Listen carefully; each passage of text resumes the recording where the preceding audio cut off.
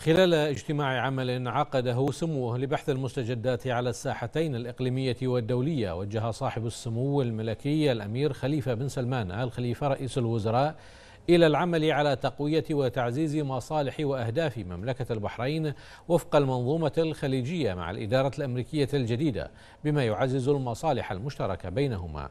منوها سموه بأهمية التنسيق والتحرك الجماعي لتعظيم المكتسبات الخليجية مع الإدارة الأمريكية الجديدة. وكان صاحب السمو الملكي رئيس الوزراء الموقر قد رأس اجتماع عمل بقصر القضبية خصه سموه لبحث المستجدات الراهنة والأوضاع على الساحتين الإقليمية والدولية.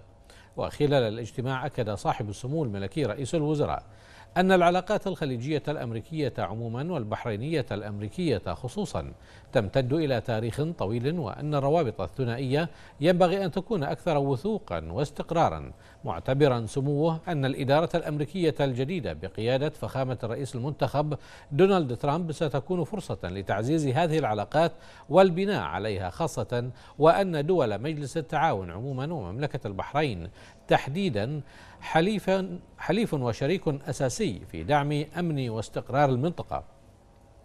ويجب التعامل من هذا المنطلق لتغليب المصالح الاستراتيجية للجانبين ضمن سياسة خليجية موحدة. وضخ روح جديدة في مسار العلاقات بينهما بما يكفل تعزيز الأمن والسلام والتنمية في المنطقة. وخلال الاجتماع وجه صاحب السمو الملكي رئيس الوزراء الجهات المعنية إلى مراجعة المرحلة السابقة ومدى فاعلية السياسات المتبعة في التعامل مع التحديات. بهدف الخروج برؤية متكاملة تضمن المضي قدما في مسيرة التطور والنماء رغم التحديات الاقتصادية العالمية سياسيا واقتصاديا.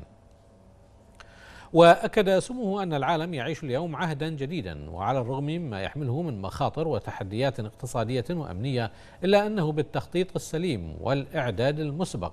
من الممكن تحويل هذه التحديات إلى عناصر تقود إلى المزيد من التقدم والتطور في مختلف المجالات.